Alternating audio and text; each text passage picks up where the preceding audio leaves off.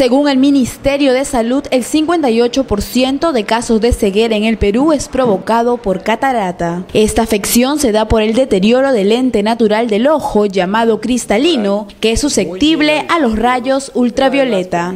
El cristalino es el lente natural del ojo que está compuesto por células y proteínas que también son susceptibles de ser ah, eh, alteradas por la radiación ultravioleta y en consecuencia dar lugar a lo que comúnmente llamamos catarata. La catarata viene a ser la opacificación del cristalino por este, eh, desnaturalización de las proteínas que lo, lo componen. Esta desnaturalización se puede acelerar o iniciar por exposición a la luz ultravioleta.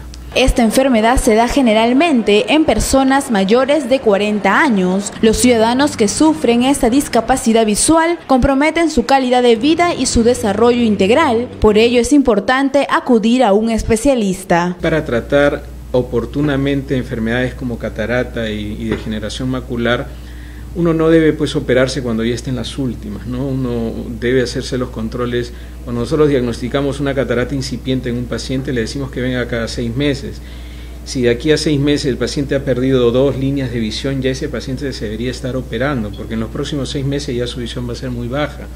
Entonces no, se debe esperar el último momento para operar una catarata. Una ceguera curable es la que se origina por catarata, ya que si un paciente se queda ciego al operarse recupera el 100% de la visión. La única ceguera tratable, curable que existe es la ceguera por catarata.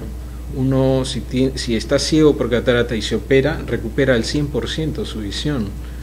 ¿No? Si tiene todo lo demás en su ojo normal, si su retina está normal, si su nervio óptico está normal, uno saca la catarata, le pone su lente intraocular y ese paciente vuelve a ver lo que veía antes de tener la catarata, o sea, se cura al 100%.